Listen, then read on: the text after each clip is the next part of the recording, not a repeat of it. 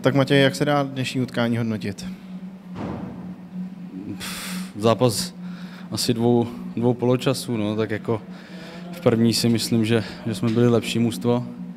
Dostávali jsme se do tlaku, měli jsme šance, bohužel jsme, jsme je nedali a, a ta druhá půlka, bohužel jsme si neuhlídali jednu standardku.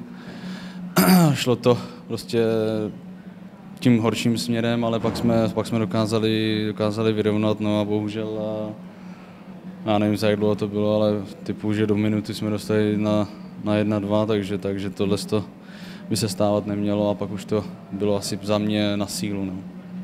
Je právě ten, ta rychlá odpověď Jablonce a branka na 2-1 to, co zlomilo ten dnešní utkání?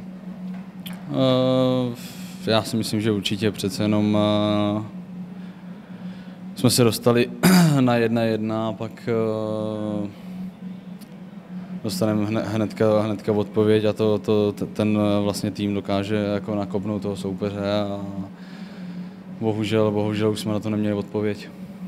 Hned eh, v úterý nás čeká Jablonec, eh, takže co se dá dělat? Hodit to za hlavu a připravovat se na další zápas?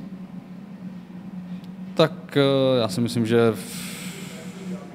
je lepší, když hnedka hrajeme za pár dní přece jenom uh, to můžeme v úvozovkách hodit za hlavu a soustředit si vlastně na ten pohár, který, který je strašně důležitý, když, eh, když ho budeme chtít vyhrát a, a zbývá pár kroků.